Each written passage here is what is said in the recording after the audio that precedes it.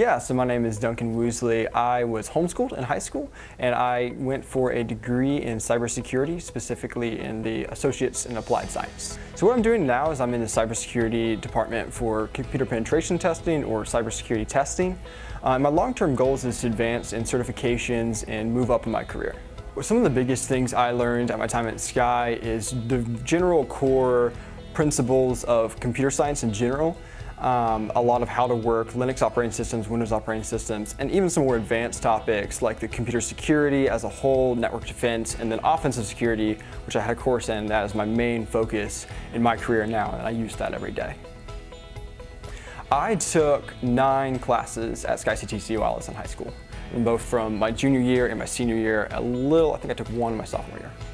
Yeah, so the transition to college is difficult for everyone. For me particularly, getting used to the classroom environment because I was homeschooled um, was one of the biggest things to prepare me for, but also the mindset of a couple of days a week without specific guidelines from a day-to-day -day instructor or day-to-day -day teacher. Um, it's just a very big transition um, from high school. And it prepared me in starting with some of the easier classes, classes that I was more familiar with, topics I was more familiar with, and then transitioning into some more difficult topics all the way before I even stepped into college. Very familiar with both the campus, the instructors, and different classmates that I saw before and after I transferred in.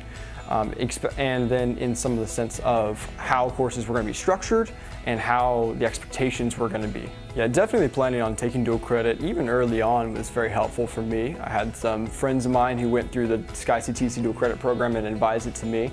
I started early out as a sophomore and, and did a few classes there, or just one class there, very light, easy class and then started stepping it up between junior year and senior year, taking more and more classes as I went through. Uh, that was one of the best decisions I made because I was able to uh, very easily transition all the way into college. It never felt like a very hard transition. Oh, it was wonderful. I mean, as soon as I would send an email asking about classes or asking about schedules for upcoming semesters or even getting enrolled, all I had to do is say, hey, I'm interested in this. They'd give me some information back and I could say, I would like to do this class and this class, and they could advise me on that and then just get me enrolled.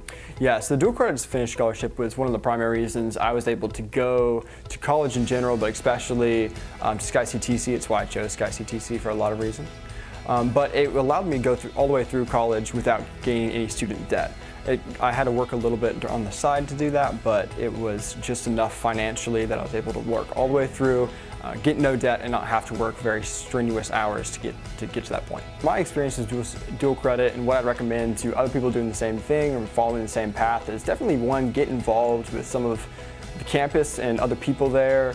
Uh, as much as you can do at the time. I know there's some great different programs that you can get involved with um, campus clubs that are also available to the dual credit students. And so getting involved with the campus really helps you connect and feel more involved and makes college in general easier.